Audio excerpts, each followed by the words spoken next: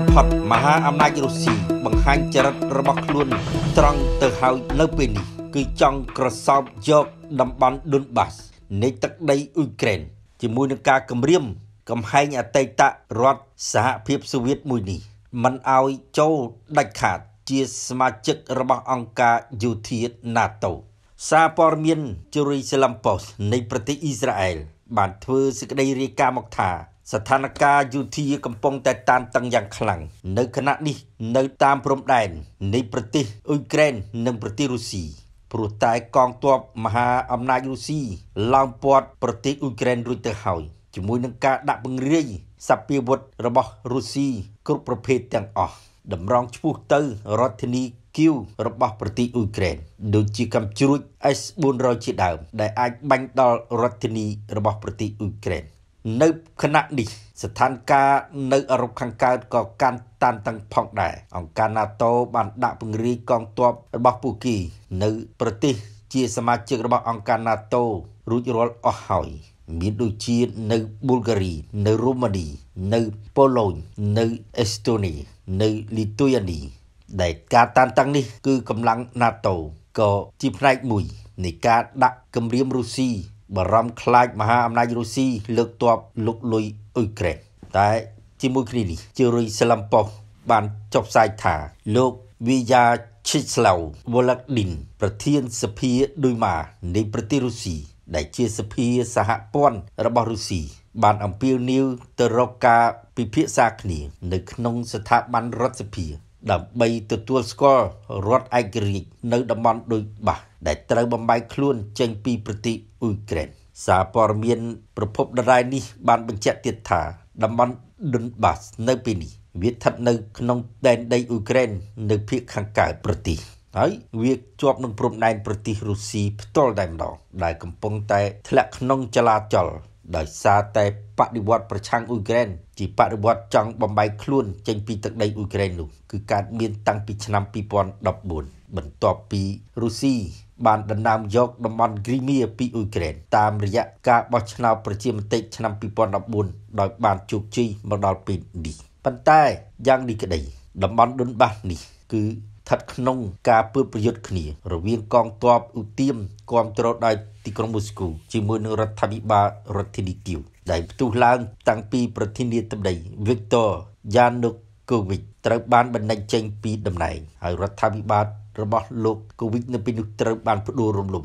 ដោយកម្លាំងរបស់អ្នកប្រជាធិបតេយ្យនៅប្រទេសអ៊ុយក្រែន ហើយបច្ចុប្បន្នដឹកនាំដោយប្រធានាធិបតី Zelensky ដែលមានទំនោរទៅរកលោកខាងលិចមានការចោទថាប្រតិបត្តិការកងទ័ពប្រទេសរុស្ស៊ីបានកំពុងតែចង់ដណ្ដើមយកតំបន់ដូចបាសនោះឲ្យបាន គឺយកមកស្ថិតនៅក្រមប្រទេសរុស្ស៊ីហើយប្រទេសរុស្ស៊ីប្រកាសថាតំបន់នោះជាតំបន់ឯករាជ្យស្វយ័តគឺมันអាចស្ថិតនៅជាផ្នែកមួយនៃតំបន់ស្វយ័តរបស់ប្រទេសអ៊ុយក្រែន ទៀតនោះទេគឺដូចនឹងគ្រីមៀផងដែរតំបន់ឌុនបាសឥឡូវនេះសម្បូរទៅដោយជនជាតិភាគតិចរុស្ស៊ីរស់នៅគឺដូចនឹងអ៊ុយក្រែនផងដែរប៉ុន្តែវាពុំអាចដូចអ៊ុយក្រែននោះទេដែលតំបន់នេះมันអាចរកឱកាសដើម្បីបោះឆ្នោតប្រជាមតិបាននោះទេដោយសារតែរដ្ឋាភិបាលកណ្ដាលនៅទីក្រុងគីវដាក់ការគៀបសង្កត់យ៉ាងខ្លាំងចាប់តាំងពីមានការពើប្រយុទ្ធគ្នារវាងកម្លាំងប្រឆាំងរដ្ឋាភិបាលទីក្រុងគីវជាមួយនឹងពួកអូទៀមគ្រប់គ្រងដោយរដ្ឋប្រទេសរុស្ស៊ីនោះយ៉ាងតិចណាស់មនុស្ស13000នាក់បានស្លាប់ដែលជាលទ្ធផលនៃការជំនួសផ្ទុះដោយប្រដាប់អាវុធនៅក្នុងតំបន់នោះសភាឌូម៉ានៃប្រទេសរុស្ស៊ីនឹងបើក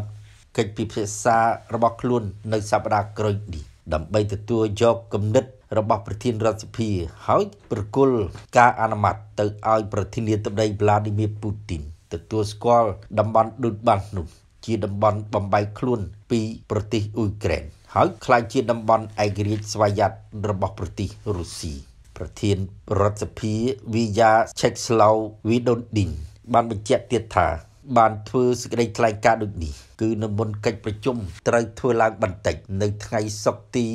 21មករានេះរវាងរដ្ឋមន្ត្រីការបរទេសរុស្ស៊ី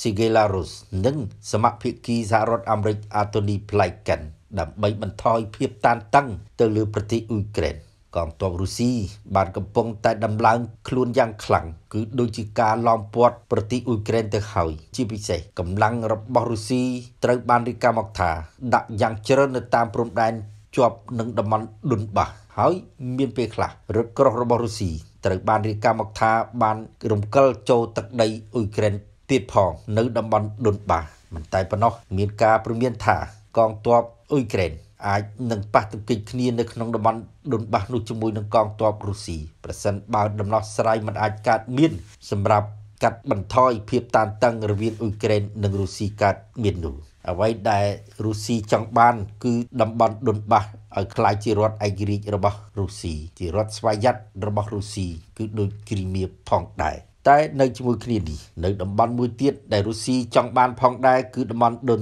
ណេកដែលតំបន់នេះក៏ជាផ្នែកមួយនៃទឹកដីអ៊ុយក្រែនផងដែរគឺនៅភាគខាងកើតនៃប្រទេសអ៊ុយក្រែនហើយឥឡូវនេះតំបន់នោះក៏មានឧទាមប្រឆាំងនឹងរដ្ឋាភិបាលទីក្រុងគៀវផងដែរគឺចង់បំបែកខ្លួនដូចនឹងដុនបាសផងដែរហើយរុស្ស៊ីក៏នៅពីក្រោយតំបន់នេះផងដែរ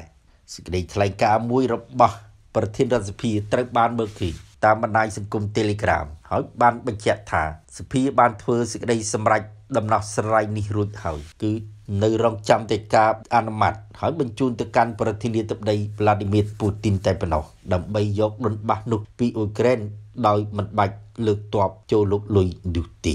អ្វីដែលអ្នកសង្កេតការមើលឃើញគឺប្រធានរដ្ឋសភារូបនេះទំនងគិតថាមានការព្រួយបារម្ភព្រោះតែសន្តិសុខរបស់រុស្ស៊ីផុយស្រួយខ្លាំងណាស់ ប្រសិនបើដុនបាសនោះនៅតែពុំអាចคล้ายជារដ្ឋចំណុះរបស់រុស្ស៊ីហើយវាអាចคล้ายជាតំបន់ដែលទីបំផុតប្រទេសអ៊ុយក្រែននឹងយកកងទ័ព NATO ទៅដាក់តំបន់នោះវានឹងកើតចេញជាការគំរាមកំហែងរុស្ស៊ីខ្លាំងក្លាណាស់ក្នុងនេះនេះហើយដែលរុស្ស៊ីពុំអាចទទួលយកបាននោះទេយ៉ាងណាក៏ដោយ នៅសប្តាហ៍ក្រោយគេនឹងបានដឹងថាសភារបស់ប្រទេសរុស្ស៊ីនឹងអនុម័តយកដុនបាសនោះបាន ដោយរបៀបការអនុម័តច្បាប់របស់ខ្លួនឬក៏ដូចម្ដេចអ្នកសង្កេតការមើលឃើញថាបើសមាជិកសភារុស្ស៊ីអនុម័តយកដុនបាសបានដោយអំណាចរបស់ខ្លួននោះគឺនៅថ្ងៃមុខទៀតតំបន់ដុន Next ក៏សមាជិកសភាដូចមកអាចនឹងធ្វើដូចនេះដែរសម្រាប់ប្រធានាធិបតីអ៊ុយក្រែនដែលលំអៀងទៅលោកខាងលិចបានសច្ចាថាលោកនឹងការពារដែនដីអ៊ុយក្រែនទោះបីជាក្នុងស្ថានភាពសង្គ្រាមធ្លាក់មកដល់ក៏ដោយលោកប្រមានថាបើសង្គ្រាម ផ្ទុះឡើង គឺសង្គ្រាមឈ្លានពានពីរុស្ស៊ីវាជាសង្គ្រាមទ្រង់ទ្រីធំបំផុត នៅអឺរ៉ុបខាងកើតលោក Zelensky បានបញ្ជាក់ថាគោលដៅរបស់រុស្ស៊ីគឺចង់បានដុនបាសខ្លាំងជាង ការព្រួយបារម្ភខ្លាចអ៊ុយក្រែនជាសមាជិកអង្គការ NATO ទៅទៀតតែជាមួយគ្នានេះលោក Zelensky ក៏ចង់បើកការចរចាចំហជាមួយរុស្ស៊ីផងដែរដើម្បីចង់ដឹងថាតើពិតជាចង់បានដុនបាសពីអ៊ុយក្រែនដោយវិធី លើកងទ័ពឬក៏ចង់ បានតំបន់ដុតបាសដោយវិធីច្បាមយកដោយច្បាប់របស់សភាដោយមកប្រទេសរុស្ស៊ី